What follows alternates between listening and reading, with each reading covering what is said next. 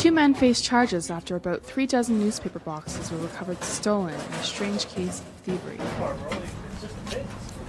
About 30 stolen Edmonton Sun boxes, alongside six belonging to a competing newspaper, were recovered at an industrial business in the southeast. And thanks to the due diligence of Constable John Frayne and the Edmonton Police Service, the message is very simple and clear. If you're caught stealing or vandalizing an Edmonton Sun machine, you will be prosecuted to the full extent of the law. Charged are Craig Reed and 20 year old Lucian Gariepy. Both face charges of theft under $5,000, shopbreaking with intent, possession of break in instruments, and theft over $5,000. I'm Michelle Thompson, reporting for Sun Media.